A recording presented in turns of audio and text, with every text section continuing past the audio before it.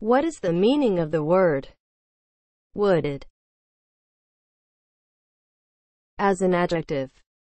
Covered with growing trees and bushes, etc. Examples of use wooded land, a heavily wooded tract. Wooded is spelled W O O D E D. Wooded